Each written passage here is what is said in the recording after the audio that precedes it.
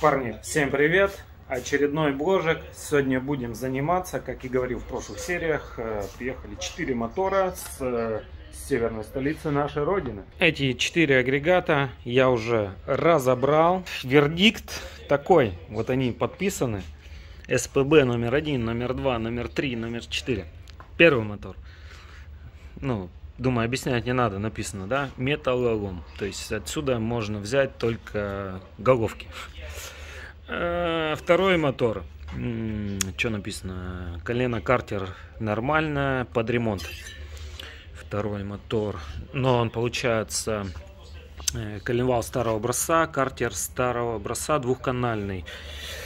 Э, единственная проблема с картером, то есть будем переделать его в четырехканалку, да, то есть этот картер надо будет подварить, отфрезеровать, это ничего страшного, эту процедуру мы проделывали уже не одну, наверное, не один десяток, может даже не одну сотню раз. Э, тут стояла, сейчас найду даже, пацаны, я выкинул, у меня ведерко, ведерко с металлоломом чисто. Старый хозяин взял э, вот эту часть, кто узнает, это э, от ручного стартера, держит пружину и кулачки, чтобы разводились кулачки. Вот так вот ее сюда на два болта прикрутил, чтобы э, якобы не вышибало сальник. Ладно, гениальная идея.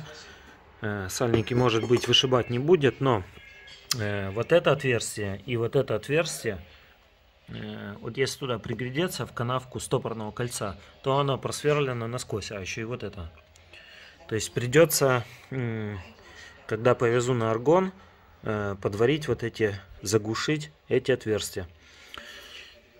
Но я думаю, что в этом проблемы никакой не будет. Э, здесь у нас на этом моторе коленвал уже более свежий, то есть нового образца, но тут печаль. То есть коленвал тут хана. Тут более-менее нормальный коленвал и более-менее нормальный картер.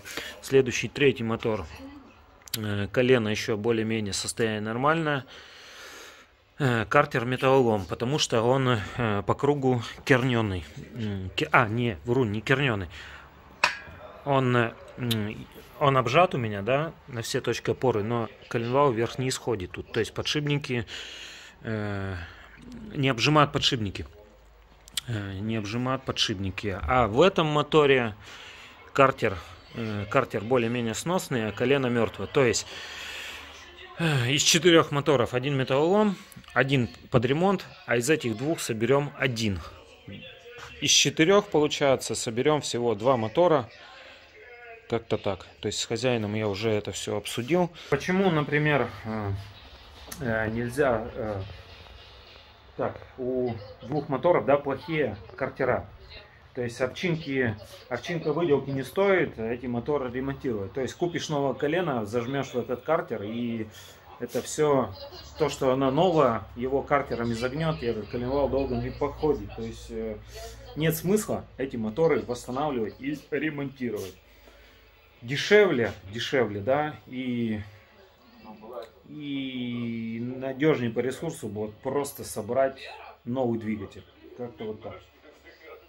Так, с этими все, быстренько, да, разделался. Как бы тут, чтобы не занимать эфирное время, э, не стал показывать, это очень долго. То есть я целый день с ними возился, пока наснимал на WhatsApp, как обычно, ну, хозяину, чтобы посмотрел, э, посмотрел, что к чему и почему, и что он купил. То есть эти все моторы были, как я понял, куплены задешево, с.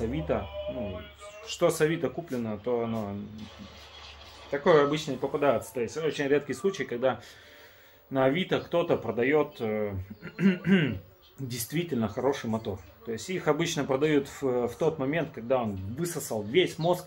Просто люди устали от того, что эта чехотка никуда не едет, жрет бензин, Э, то один цилиндр откажет, то второй цилиндр откажет. То есть его снимают и ставят или новый, э, новый такой же двухтактный двигатель, этот же РМЗ 640, или же ставят четырехтактный.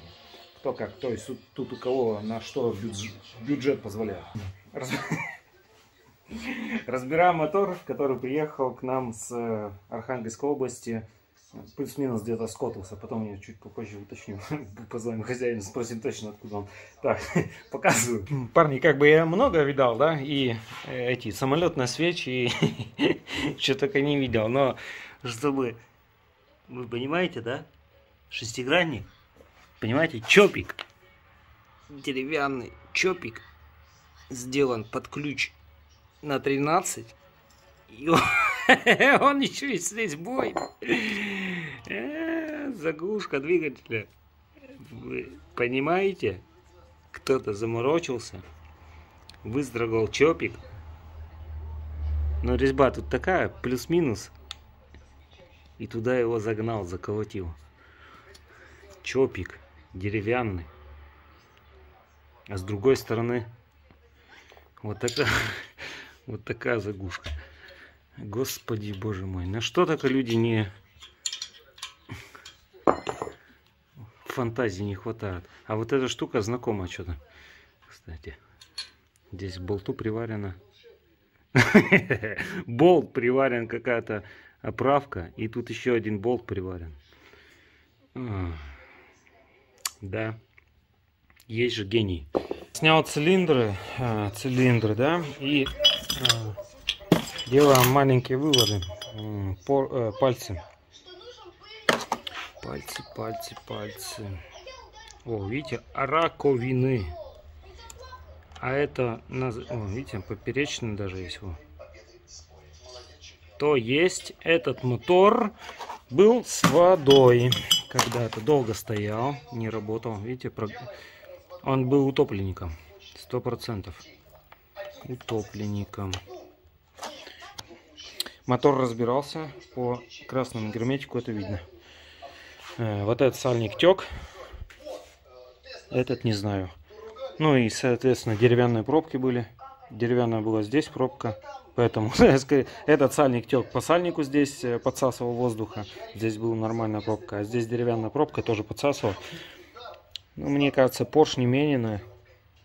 Поршни Менина. Поршни. Судя по маркировке. Оригинал. Алмет. Сейчас вверх почистим, посмотрим, что сверху написано. И определим точно. Разбираем. Ну, короче, коленвал, ему он на выкид. Вы его заржавели. Э, такие же раковины, как на пальцах. Верхней головки штуна. Сейчас сниму, покажу. Разобрал до конца. Ну, состояние картера еще более-менее нормально. Верхняя половинка. Верхняя половинка на мой, на мой пальцемер, она без выработки. Ну, не чувствуется ничего. В нижней половинке немножко средний подшипник как бы начал выколачивать алюминий. Края нормальные. Так, это хорошо. Э, картер у нас целый. Смотрите, никогда в жизни не, не делайте так, что э, став на коленвал устанавливаете э, закрытые подшипники. Что с этой стороны, что с этой стороны. Что происходит? Вот два сальника с этого мотора. Если вы обратите внимание, они абсолютно сухие. Что этот, что этот. Чуть-чуть есть немножко жирненький налет. Такого не должно быть. Почему это? Ну, естественно, это происходит из-за того, что подшипник закрыт. Э, с обоих сторон, скорее всего, закрыт. Ну, это надо сдергивать, смотреть. Ну, хорошо, если с той стороны он не закрыт, а закрыт только с этой стороны.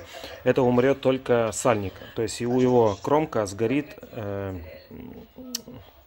сгорит об кромку коленвала. Да? То есть у сальника выработка будет, потому что он будет работать на сухую, перегреваться. И кромка подгорит, и он будет пропускать моментально. Там много не накатаешь на таком моторе. Вот. А если подшипники э, стоят с двух сторон закрытые, Сейчас телек сделаем потише маленько. Э, если стоят все-таки с двух сторон закрыто, то и подшипники быстро умрут. Эти подшипники, я думаю, что свежие поставлены. Свежие поставлены, ну, не больно давно и немного на их проехали, потому что они еще крутятся. А так, подшипник, когда закрытый, да, в нем есть смазка туда закладываться. Эту смазку вымоет э, топливо-воздушной смесью, ее оттуда вымоет. И подшипник ну, когда поедете, там, например, прямичок будет, допустим, по озеру, там, километра 2-3 э, прямого пути, дадите километров даже 30-40, и подшипники просто-напросто заклинят. Как-то так, то есть средний подшипник уже все.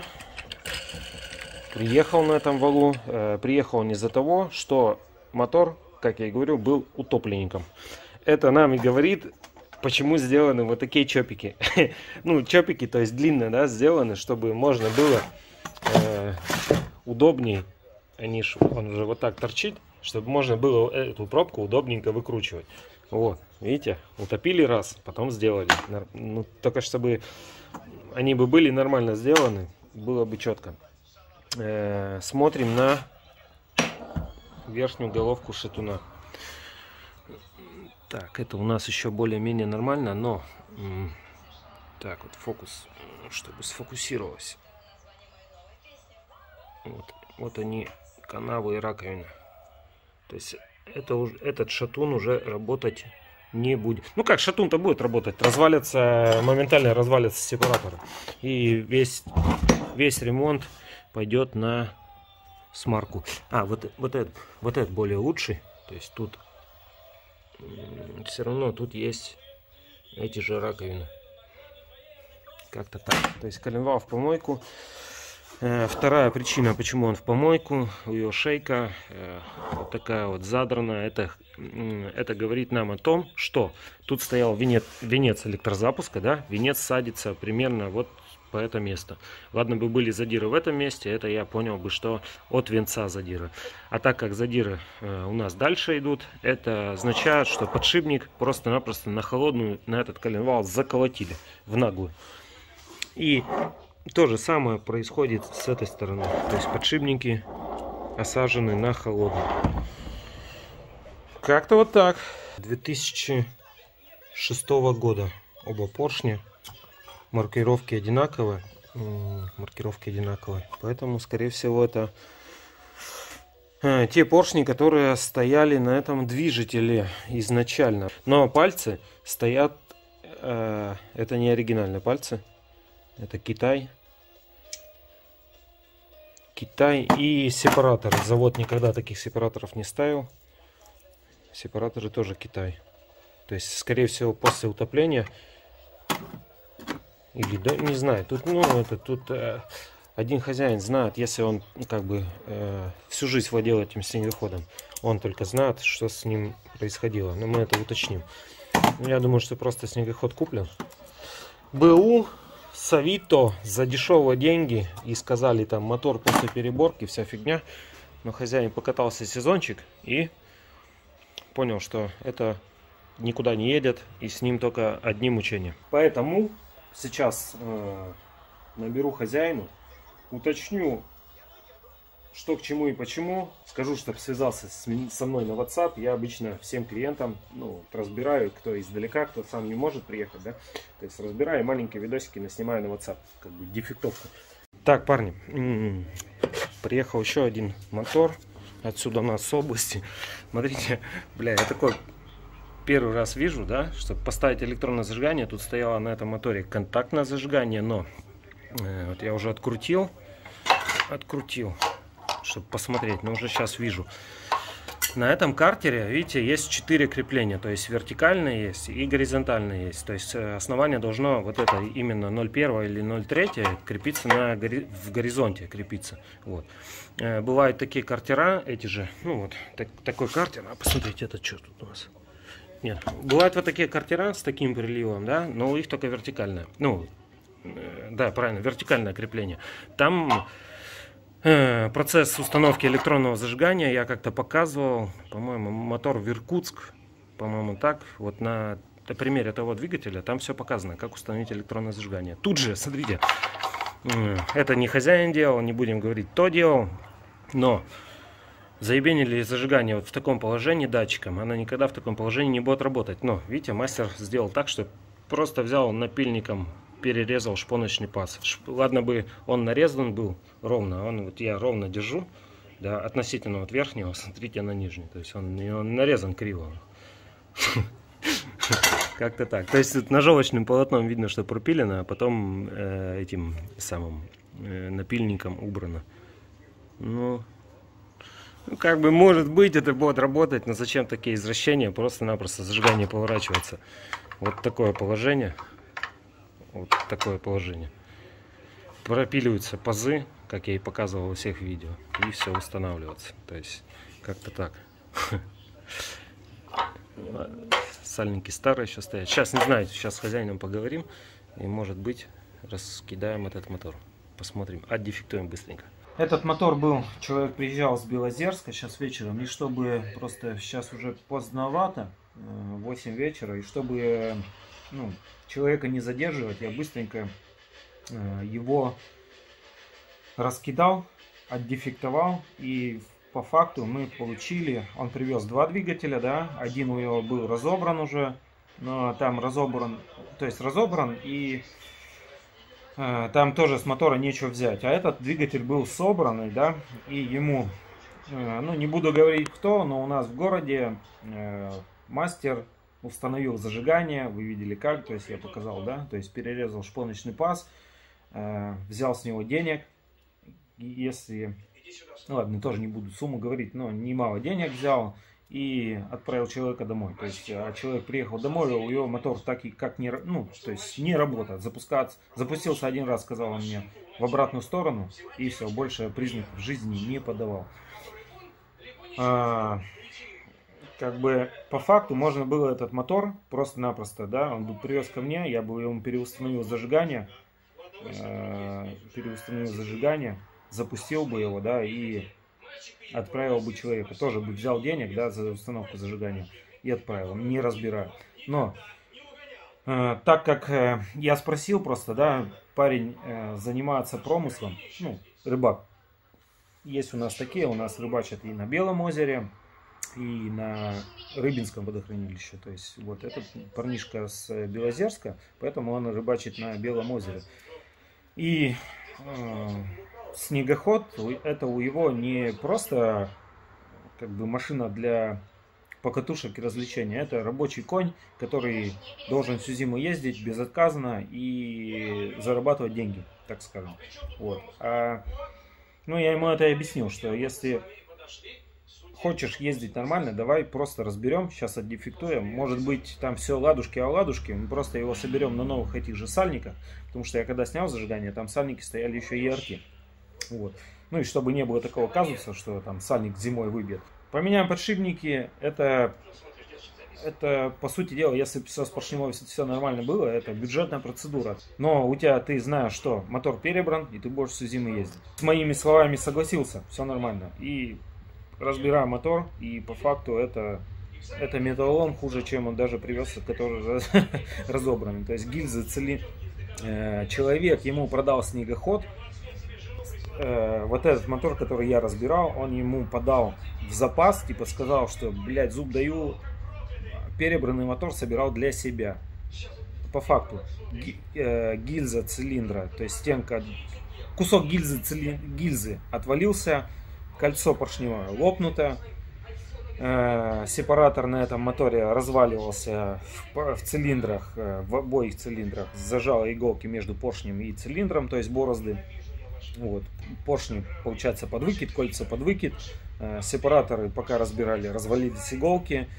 Э, получается, и мотор еще был утопленник. И в верхней головке шатуна они просто сгнили, аж там такие, такие борозды. Я ничего не снимал, потому что, как бы, ну, обычно снимаешь видосик для клиента, как бы, да, там, по сути дела, вот эти дефектовки все. Вот. А тут, так как он сам приехал, сам привез, поэтому перед ним было все разобрано, все показано, все объяснено, поэтому я как бы не снимал. И чтобы, я как еще раз повторюсь, чтобы не занимать время человека. То есть он приехал с другого города, это Белозерск от нас, наверное, ну, километров 100, наверное, 120 может даже. Ну, сотка точно, стабильно есть. Вот, приехал с другого города, это полтора часа езды хоть и по новой дороге, но все равно как-то так. То есть не стал занимать. Это бы, если бы я еще видео снимал, это затянулось бы все часа на три, сто процентов. Как-то так. То есть мне что-то в этот год, ну, в этот сезон, сезон обычно начинается, да, там, с августа месяца, и что-то с августа месяца вообще фартит на моторы, которые были утопленниками или которые, блядь, не восстановить. Это очень плохо, э, потому что на таких моторах э, как бы, то есть привезли на ремонт, да, вроде бы можно с него заработать денег, за, ну, за ремонт мотора, но так как это металлолом, ты с него ничего не зарабатываешь. Это плохо. Как-то так. Так. Не знаю, что будем дальше делать, но что-нибудь будет. Смотрите дальше, не переключайтесь.